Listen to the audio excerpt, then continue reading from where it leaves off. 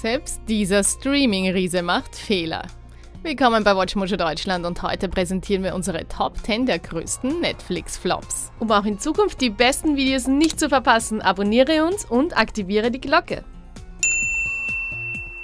In dieser Liste schauen wir uns Netflix-Originalserien, Filme und Specials an, die entweder schlechte Kritiken erhielten oder in visueller und produktionsbedingter Hinsicht versagt haben. Nummer 10, The Ranch. The hell are you doing here? Diese Netflix-Serie ist in der amerikanischen Kulturlandschaft angesiedelt mit ziemlich konservativen Charakteren. Der Ranch geht Familiendynamiken nach mit Sam Elliott als grantigem Patriarchen und Ashton Kutcher als heimkehrendem schwarzen Schaf der Familie. I was playing for the Saskatoon Cold. It's like the Miami Heat, except, you know, cold. Mit einer gelungenen Besetzung, darunter Deborah Winger, Danny Masterson und Elijah Cuthbert, die vor einem Live-Studio-Publikum gefilmt sind, erweckt die Serie ein nostalgisches Gefühl. Aber viele kritisieren, dass der Ranch in Bezug auf Charaktere und Story viel zu vorhersehbar ist. Oh, where the hell that come from? Nummer 9. Flaked. Tragedy is an understatement. Auf dem Papier ist das Netflix-Original ein Erfolg. Will Arnett, bekannt für Arrested Development und Bojack Horseman, ist Schöpfer, Produzent und Star der Serie. Er spielt den in Venice Beach geborenen Chip, der mit seinen persönlichen Dämonen kämpft. Parallelen zur erfolgreichen Showtime-Serie Californication, in der auch ein Typ aus Venice mit dem Leben hadert, sind zwangsläufig. Auch kann Regisseur und Oscar-Preisträger Wally Pfeister die Kritiker nicht über Handlungslücken und melodramatische Tendenzen hinwegtäuschen. Dazu kommen offensichtliche Schwachstellen im Plot und die nur allzu gut bekannten Eigenschaften der Hauptfigur. Like. Nummer 8. The Get Down. Im Juli 2016 verzaubert Stranger Things die Zuschauer dank des Retro-Stils und der charmanten Besetzung.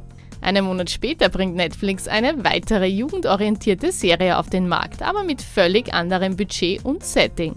In The Get Down geht der legendäre Baz Luhrmann der Kultur und Musik der South Bronx der 70er Jahre nach.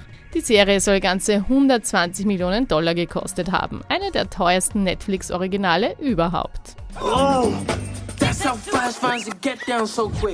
Die ersten sechs Episoden wurden von den wenigen Zuschauern größtenteils gut aufgenommen. Aber das achtmonatige Warten auf die zweite Hälfte ließ die Zuschauerzahlen völlig einbrechen und Netflix verabschiedete sich von der Serie. Nummer 7. Amy Schumer, The Letter Special. Die Produktionskosten für das Stand-Up-Special, das aus dem Berco Theater in Denver gesendet wird, sprengten nicht gerade die Bank. Aber zahlreiche Medien betitelten die Show als Katastrophe. Amy Schumers kruder Humor erreichten jedenfalls nur wenige Netflix-Abonnenten. I tweeted out a photo of myself wearing just underwear. Nothing but underwear. Thank you, just the women. Berichten zufolge gab es gemeinsame Anstrengungen, Netflix-Originale niedriger zu bewerten, worüber sich Schumer in einer ausführlichen Instagram-Reaktion ausließ. Ob nun überwiegend positive Rezensionen oder negative Kritiken und Online-Kommentare. Fakt ist, sie bekam vernichtende Bewertungen auf Netflix und jede Menge schlechte Presse. It's my fing moment. Leather special. Nummer 6. Between. There's troubling news coming in from Pretty Lake. Dieses in Kanada produzierte Netflix-Original vermischt Science-Fiction mit Teenie-Ängsten. Ganz sicher gibt es einen Markt dafür, aber auf Netflix kam die Serie bei Kritikern und Abonnenten nicht gut an. The grocery store's on fire. Die ehemalige Nickelodeon-Schauspielerin Jeanette McCurdy bringt einen gewissen Star-Glamour mit, aber die Story um Pretty Lake hat im Vergleich zu anderen Netflix-Originalen nicht viel zu bieten. Ganze 22% erzielte die Serie auf Rotten Tomatoes. Im September 2017 befand sich Between nach zwei Staffeln und zwölf Episoden an einem Punkt, an dem die Produktion eingestampft wurde. Wait, are you sure you know what you're doing? Nummer 5. Chelsea. Here I am! Did you miss me? I missed you! Dieses Netflix-Original betrat als erste Talkshow der Plattform Neuland. Dreimal pro Woche interviewt Chelsea-Händler prominente Gäste. Der Star-Glamour ist da, aber viele kritisieren die nichtssagenden Unterhaltungen. Die New York Post veröffentlichte sogar einen Artikel mit dem Titel Warum ist Chelsea Händlers neue Show so schrecklich? Vielleicht mögen manche aufgedrehte Unterhaltungen über unverfängliche Themen, aber Kritiker haben definitiv ein Problem mit Chelsea, die offensichtlich mehr langweilt als unterhält. Adios, amigos. Nummer 4 Marco Polo. Follow the three sisters and they will lead you home. Um epische Geschichten zu erzählen, braucht man das entsprechende Budget und Netflix war bereit, dem historischen Drama Leben einzuhauchen.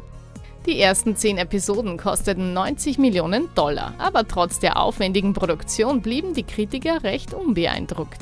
You want Mongolia? You come and take it. Die zweite Staffel legte in Sachen Qualität noch eins drauf, aber im Verhältnis zu den Produktionskosten floppte dieses Netflix-Original zwangsläufig. Alles in allem verlor Netflix 200 Millionen Dollar, ein Defizit, von dem sich die Serie nicht erholte. Marco Polo wurde damit die erste Netflix-Originalserie, die keine dritte Staffel erhielt. Nummer 3. Die wahren Memoiren eines internationalen Killers. Call me the ghost. Im Gegensatz zu Serien können Filme nicht in der zweiten Staffel reifen und sich verbessern. Versagen sie dann auf wirklich spektakuläre Weise. Seit September 2017 hält der Film seinen 0% auf Rotten Tomatoes, die vermeintlich größte Leistung dieses Films. Um das Drehbuch wurde in den Jahren vor der Produktion viel Wirbel gemacht, aber die filmische Umsetzung und die schauspielerischen Leistungen konnten die Zuschauer wohl nicht überzeugen. So people think I'm a hitman? Maybe they do, maybe they don't. Die Kritiken waren vernichtend und darüber hinaus verärgerte der Film die Venezolaner, weil ihr Land so negativ dargestellt wurde. Ein internationales Scheitern auf ganzer Strecke. Order me up some, some of them pigs in a blanket. Pronto, gracias, hombre. Nummer 2 Hemlock Grove. So are you a werewolf or what? Dieses Netflix-Original wurde gleich für zwei Emmys nominiert. Viel Lob erhielt die Titelmusik und die visuellen Effekte.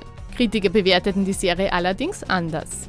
Das Storytelling wurde heftig kritisiert, vor allem die fehlende Fokussierung und das langsame Erzähltempo kamen gar nicht gut an. Horror in Verbindung mit Comedy kann man mögen, aber die Serie konnte ihr Potenzial nicht vollständig ausschöpfen. Nicht einmal mit dem bekannten Horrorregisseur Eli Roth, der als ausführender Produzent mit dabei war. Nach drei Staffeln besiegelte Netflix das Schicksal dieser Serie. To everything, there is a season.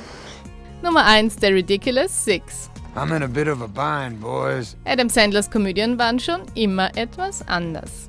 Als er 2014 einen Vertrag mit Netflix über vier Filme schloss, wussten viele Abonnenten, was sie erwarten konnten. Aber der Ridiculous Six schaffte es nicht nur nicht komisch zu sein, sondern überraschte auch noch mit mangelndem kulturellen Feingefühl, woraufhin viele Natives den Dreh verließen. Hey, why don't you let me worry about the engines? Trotz dieses Rückschlags und den folgenden Flops in The Do-Over und Sandy Wexler verlängerte Netflix 2017 Sandlers Vertrag. Offensichtlich bringen seine Netflix-Originalfilme immer noch hohe Zuschauerzahlen ein. Der Ridiculous Six wird zumindest in filmischer und kultureller Hinsicht als Riesenflop betrachtet.